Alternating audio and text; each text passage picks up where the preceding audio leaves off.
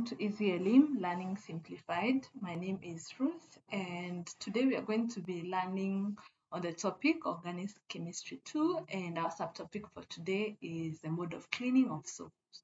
So we did an introduction bit in the previous lesson when we saw how soaps are made in the lab, uh, manufactured in the lab. So today we are going to see how exactly soap is used uh, for cleaning.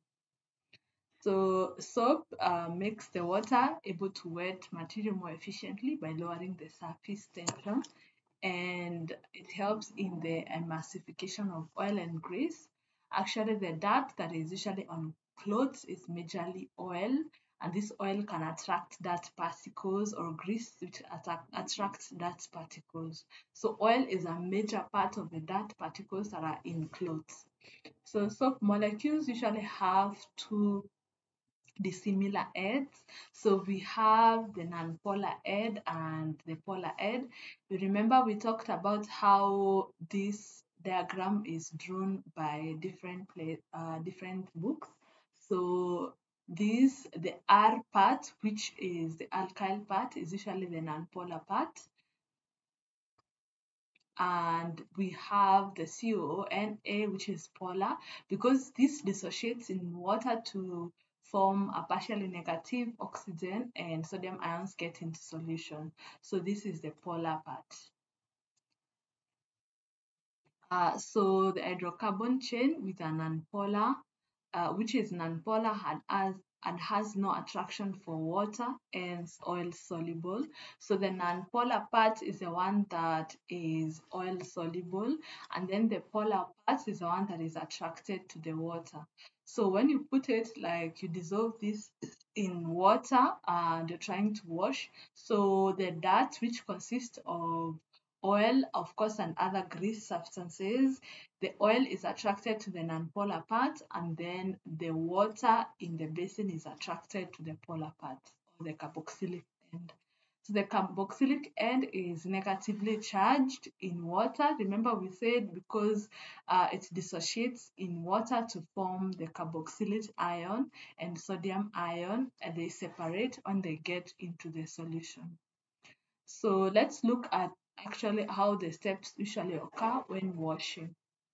So we have the hydrophilic part of the of the tail. This is the long hydrocarbon chain, as you said. This is the nonpolar part end, and we usually call it hydrophobic because it's not attracted to the water. And then we have the hydrophilic part, which is water loving. This is the part that is polar. You can see the negatively charged ox uh, carboxylic ion, and then the sodium ions gets into the water. So on adding soap into the oil water mixture, the following buildup occurs. First of all, a molecule of soap has uh, the hydrophilic and hydrophobic part. So the non-polar end dissolves in the oil and then the polar end dissolves in the water. So when you're explaining your answers, especially when you have been asked to explain the cleaning action of soap, so the first thing you need to do is to identify that um, the soap contains uh, hydrophilic or um, the water loving part or the polar part, and it's also made up of the non-polar part, which is hydrophobic. And then you go ahead and explain how these two different parts interact with the water and the oil particles in the basin. So the non-polar end will dissolve in the oil, and then the polar end will dissolve in the water or it will be attracted to the water. And when the mixture is agitated, um, when, the mixture is agitated thoroughly or shaken, in the case of shaking is when you see in the washing machines, it's actually shaken by vibration but agitation happens when it's hard washed so the hydrocarbon chain dissolves in the grease so it's the one that dissolves in the grease while the carboxylate ion end of the soap uh, remain dissolved in water.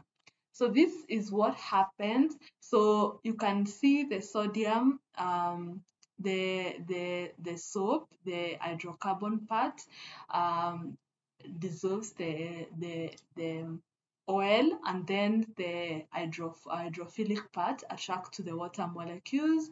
And each drop ends up with a large cloud of negative charges around it. As you can see there is a drop that is forming around the oil. So around it as the polar ends are negatively charged. So consequently, the oil dro drops repel each other as you can see, hence preventing them from coalescing. So because they are not able to attract each other because remember this they are of like poles, so they are not going to attract each other, they repel. And remember because of this attraction, they are forming a sort of a round cloud around the oil. So this is what we refer to as a micelle this is not how the wording of missile is. It's not a missile for bombing. So micelle is formed in the process and then uh, the water soluble sodium heads on the surface of the droplets keep the droplets um, suspended in the water. So when um, the water is being rinsed, the water carries away those oil droplets. So this micelle is the one that is removed when the rinsing occurs. So when you look at now hard water and soap, so calcium ions and magnesium ions are the ones that are responsible for water hardness. We discussed this uh, in the what salt, bases, and acids in 4. You can go back and check in details hard water. So the magnesium and calcium ions in solution are the ones that uh, react with the soap, that is sodium stearate, and in turn they form an insoluble solid, which is referred to as scum. So this is a solid of magnesium stearate and calcium stearate. So this is the equation for the reaction. You can see the soap with the sodium ion. You remember that is what we said, the structure of the soap. So there's an interchange of cations because when it gets into solution, the sodium ions dissociate. So we form calcium stearate and sodium ions.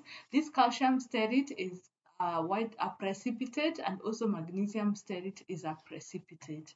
So you have to use a lot of soap to get rid of all the calcium ions and magnesium ions in solution. So there's a lot of soap wastage. It takes a lot of time before lathering occurs when you're using soap with hard water.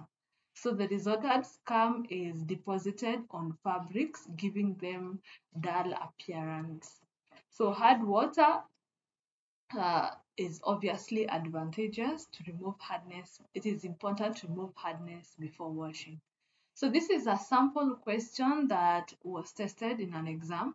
So below is a simple representation of a soap molecule. So we have the polar head and then non-polar head. Using the structure above, show how soap removes the oily smear from the fabric shown below. So we are just going to show the steps, but in diagrammatic way. So let's show how the attraction of the polar and the non-polar head. So we have the oil, the the grease. We said the non-polar head of um, the the soap attracts itself to the grease. So you need to show that in your diagram. So we'll call this the soap you can go ahead and show the uh, polar and non-polar. And then continuous agitation dislodges this uh, oil from the fabric. So we end up having um, the oil surround being surrounded by the non-polar ends.